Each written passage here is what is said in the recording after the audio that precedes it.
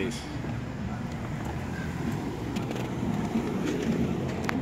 False entrapment.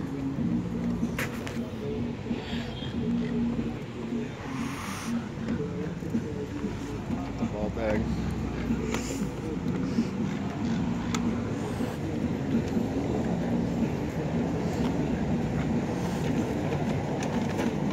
Guys, Kyla's looking a little Mad Maxy. Good jam.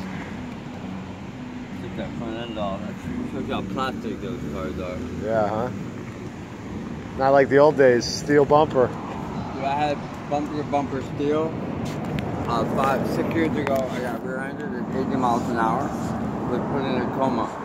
If it wasn't for that bumper to bumper steel Ford, Yeah. I'd be dead. 80 miles an hour? Damn. I was at a dead stop. Oh, God. Killed her husband. Almost killed the guy next to us. Put me in a coma for five days. Drunk driver? No, he's Yeah. not oh. paying attention. Yeah. Dumb bitch. On the freeway, huh? Yep. Yeah. And here's the fucker, right? I'm on, I just packed my van. I was all ready to go start this trip.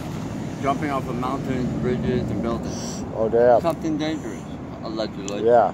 And I get fucking rammed and put in a coma. Yeah. I get all, I can recuperate.